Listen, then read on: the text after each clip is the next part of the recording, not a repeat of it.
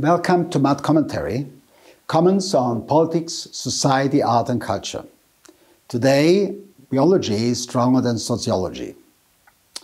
In a functioning democracy, freedom of opinion and freedom of science are just as important as open discourse, unencumbered by censorship, different opinions and dialectical friction.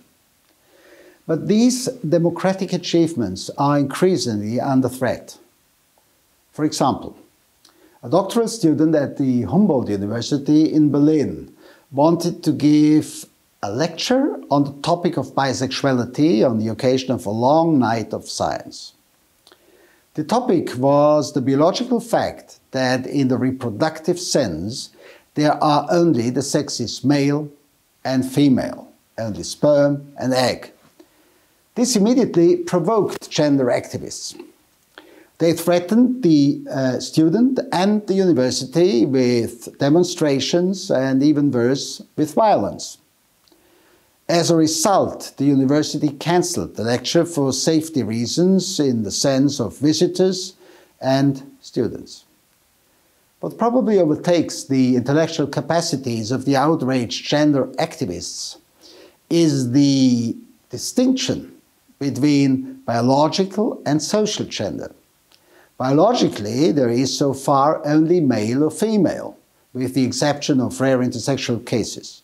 Socially, everyone is and should be free in a democratic and liberal society to choose their gender, including gender correcting surgery. If, however, as planned by the German Traffic Light Coalition, one will soon be able to change one's gender unbureaucratically and even annually at the registry office or even at the immature age of 14 against the will of one's parents. If that happens, the state will become the vicarious agent of a manageable and all the more vociferous minority that puts ideology instead of reality and the common good, and takes the majority society with its problems as hostage. A look at sport shows how blinded their criticism is.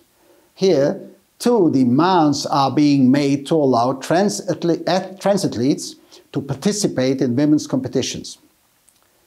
The World Swimming Federation, in consultation with leading endocrinologists, lawyers, sports physiologists, and human rights activists, decided that trans women should only be allowed to compete in women's events if they were already taking testosterone blockers at the onset of male puberty. The reason for this is the massive physical performance differences between male and female bodies. Men have more muscle mass and less fat mass than women, a larger heart, larger lungs, in short, they have more strength and endurance. Neither ideology, neither boycotts, neither hate slogans are of any use here. Biology takes precedence over sociology. The Nobel Prize winner for biology, Nusslein Volhard, expressed her indignation about this in the German women's magazine Emma.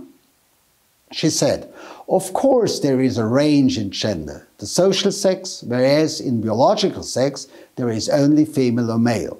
Out, end.